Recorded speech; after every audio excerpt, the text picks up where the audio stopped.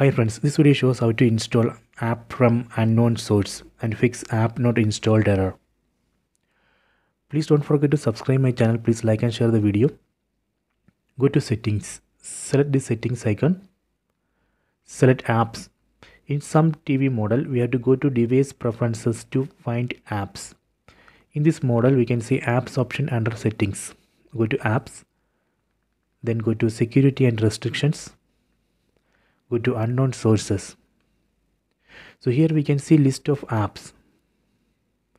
If you are not seeing any apps apps here then you have to install any file manager or browser or uh, any uh, file transfer app from app store.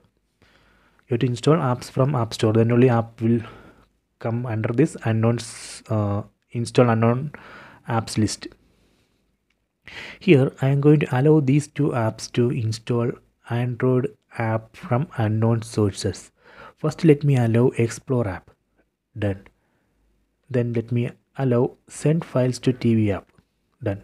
After this using these two apps I can install Android APK file from unknown source. It won't show any error message or any warning.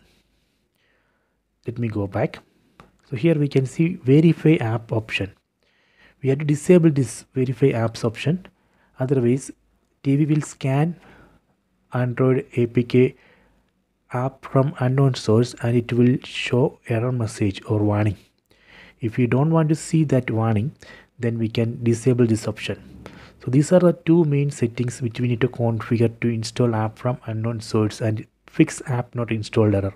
Please take it